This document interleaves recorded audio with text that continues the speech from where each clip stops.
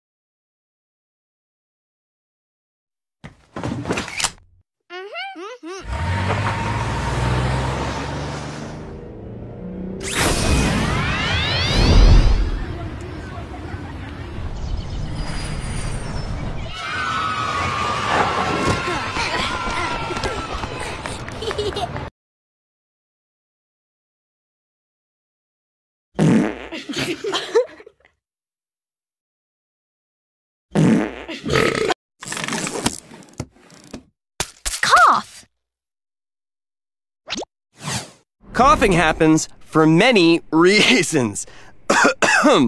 Excuse me. Many reasons. Oh, you're sick. Don't worry, I can take over. That's okay, Willow. I'm not sick. I just have dust in my throat.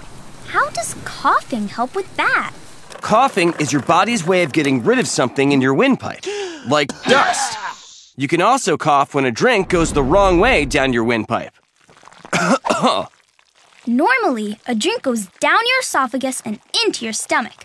But sometimes it goes down your windpipe and into your lungs. Coughing prevents too much water getting into your lungs. But we do cough when we're sick, right? When we're sick, our body creates extra mucus. This helps protect us from germs. Our body needs to get rid of that mucus. So it makes us cough. The muscles around the ribs get smaller, which forces the air out fast with the mucus. Yuck! So coughing Is a way of getting rid of something in your windpipe. And remember, if you cough, cover your mouth or cough into your elbow. That's all from me, Willow! Now let's test your memory. Find the items that begin with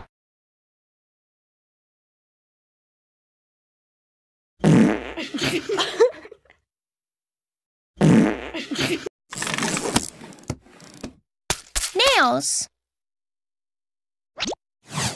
Nails grow on our feet and on our hands.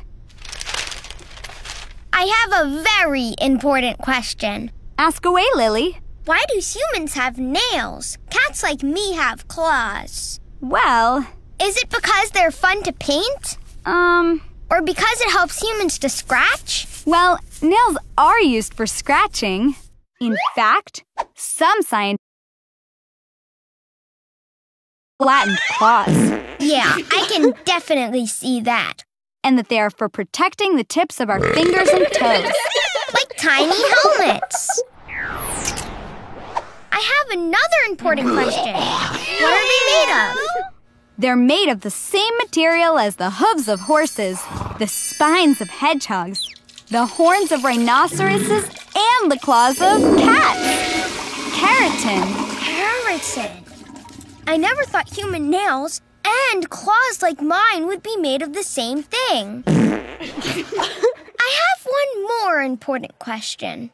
What's that, Lily? Do you think I should paint my claws red or blue? Maybe both? Purple it is then.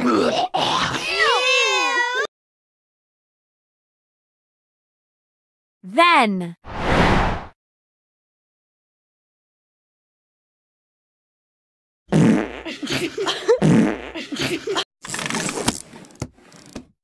Wearing glasses. Sometimes our eyes need help to see. So we need to wear glasses. What are you up to today, Chester? I'm having my eyes tested. I wonder what all those machines do. They check to see if your eyes need any help to see. So, if your eyesight is fine, light enters through the pupil and lands on the retina. What happens if it doesn't land there? If the light stops before the retina, things in the distance can look fuzzy. Like that bus. That's called being nearsighted. If the eye focuses the light past the retina, though, then things up close can be fuzzy. That must make it hard to read. It does. It's called being farsighted. But wearing glasses can help make things clear again, whether they're close up or far away. Glasses sound very helpful. I can't wait to see if I need them. Let's write.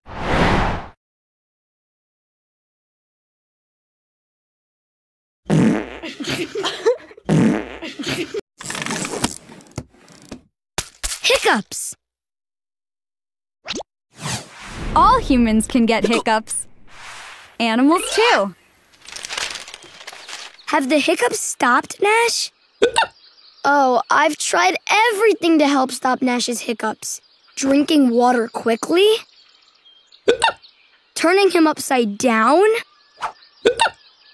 Making him jump with a loud boo!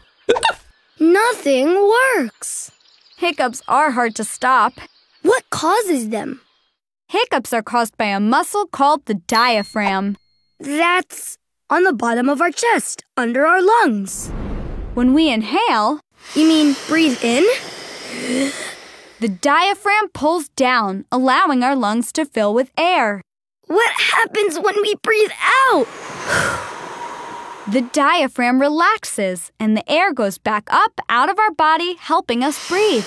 What's happening? Sometimes the diaphragm doesn't work. It gets smaller and the air gets stuck. Suddenly, the air bursts out. And creates a hiccup. This happens to everyone? Even babies inside the womb. And mommies can feel it.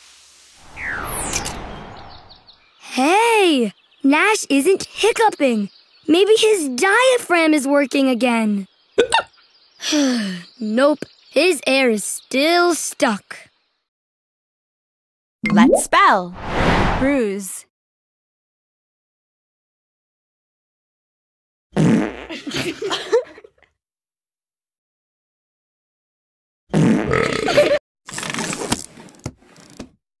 Vomit? Delicious. I bet I could eat that whole cake. That might make you vomit, Marco. Vomit?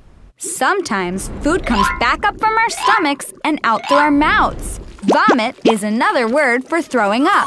Do you know what happens when you. Food comes back up from your stomach. It does. It's usually mixed with stomach acids and saliva, which is spit. And it comes back up the same way it went down. Why do we vomit? Sometimes it's because our body wants to get rid of food it thinks is bad for us. Sometimes, when we have an illness, we vomit too. And when some people get nervous or worried, their body responds by vomiting. Of course, there is another reason why people vomit. I'm guessing it's because they've eaten too much. I'll just have the one piece then. Let's spell.